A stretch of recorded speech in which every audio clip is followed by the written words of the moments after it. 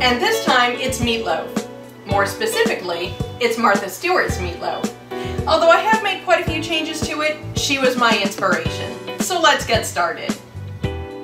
We have a couple of vegetables we need to prep first. These are going inside the meatloaf. I have two substantial carrots, one very large white onion, and three fairly large shallots. I've peeled my large onion. We're cutting it in half.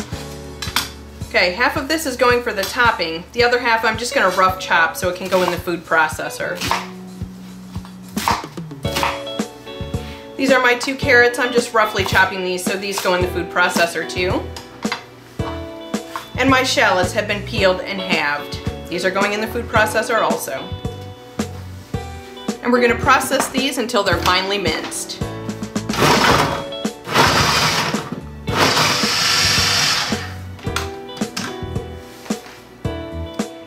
We're slicing for the topping.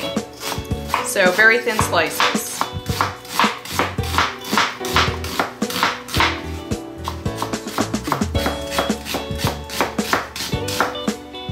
This is about a pound and a quarter of ground beef, a pound of ground pork, and a pound of ground veal. All this meat and these ingredients are going in here together.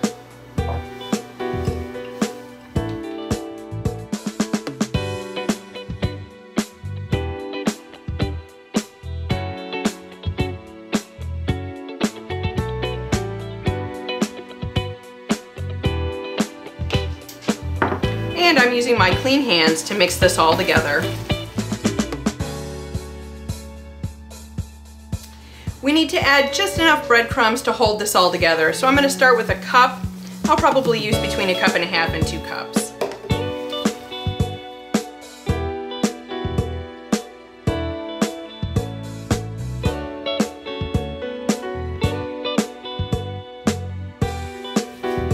Okay, we want to make sure that this can hold together, which it can, but we don't want it to be too stiff. So that's perfect.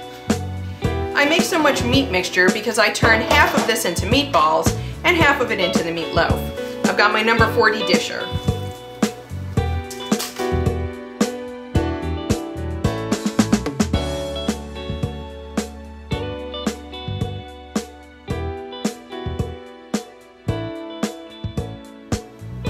I have a baking sheet here with just a piece of aluminum foil on it for cleanup. Then I have my cooling rack on top. And I'm gonna place a piece of parchment paper on top of that. We're gonna build our, our meatloaf on this. So the rest of this meat can come out.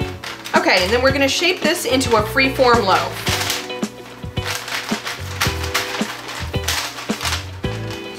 All right, I like to have a flat top on mine because we'll put a topping on here. Now we need to cut away the excess parchment paper. And trimming this allows any fats to drain into the bottom so our meatloaf isn't swimming in its own fat.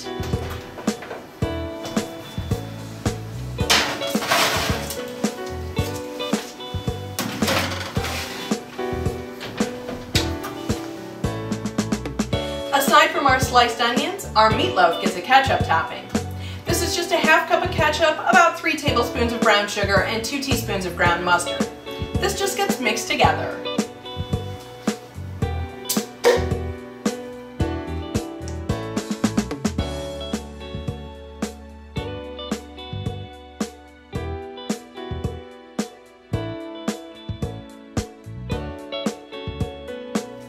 We'll be caramelizing these onions until they are nicely brown. Alright, we don't want these overly caramelized because they are going in the oven at 400 degrees for 20 minutes.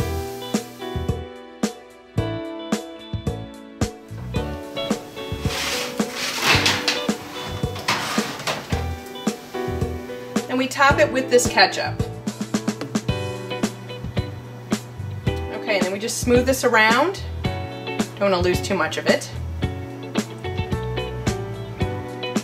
And then we just top this with our onions.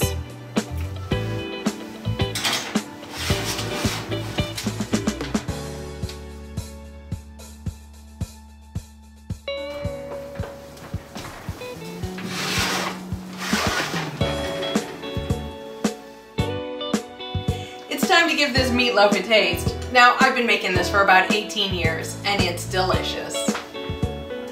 Get a little bit of everything on here.